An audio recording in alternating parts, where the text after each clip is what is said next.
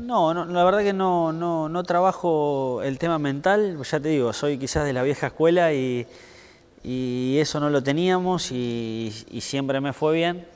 Entonces quizás no lo trabajo, lo he trabajado, lo he intentado trabajar y todo, pero, pero no es algo que le doy la eh, prioridad. Eh, sí que es verdad que muchos muchos partidos eh, se me va, se me, me- me voy de cabeza como, como cualquier jugador le puede pasar.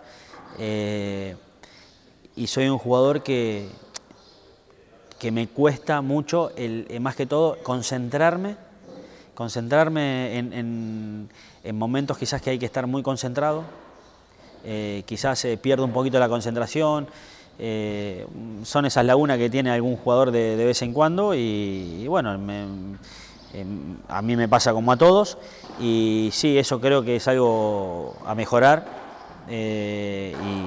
y vamos, vamos a intentar mejorarlo porque es importante.